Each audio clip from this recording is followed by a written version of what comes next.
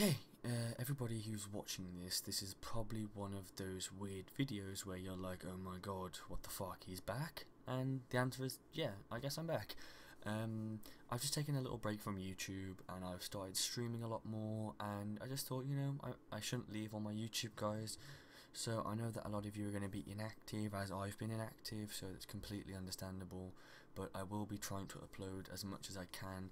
Uh, I have a as you can see, I don't have anything set up right now. I just have really um, just my Twitch stuff.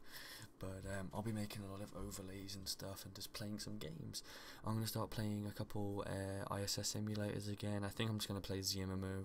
The only games you're going to see me upload are ZMMO for the time being before until, in fact, it's ZMMO. If you want to see me play Counter Strike, just check my Twitch and stuff out. But as far as my YouTube right now, it's just going to be ZMMO. So yeah, just guys, just drop a like on this video. Let me know that you're all alive and watching the videos still.